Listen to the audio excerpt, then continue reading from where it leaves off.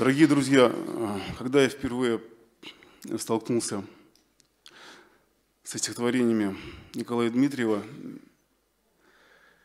читая, я ощутил какое-то дикое родство. Я сам э, человек пишущий, и мне близки также есенинские мотивы. Недаром прозвучала сейчас эта песня.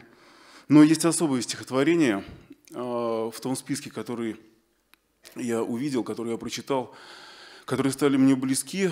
Есть особые стихотворения, которые, на мой взгляд, не побоюсь этого слова, наверное, становятся каким-то откровением.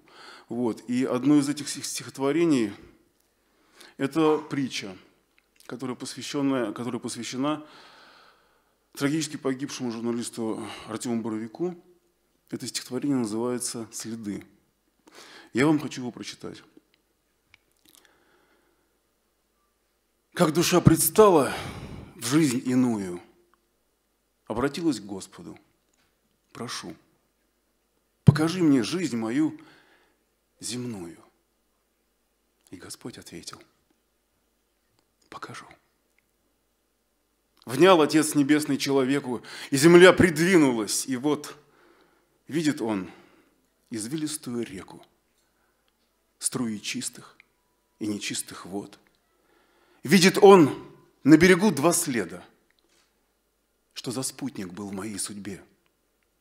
И воскликнул Бог, чудак, ведь это я всю жизнь сопутствовал тебе смотрит человек. Смущением занят. Вот опять один прервался след в дни его разлада и терзаний, боли, страха, самых черных бед. И не выдержал он горестного вздоха. Видел я, как след твой пропадал. От чего? Когда мне было плохо, ты меня, мой отче, покидал.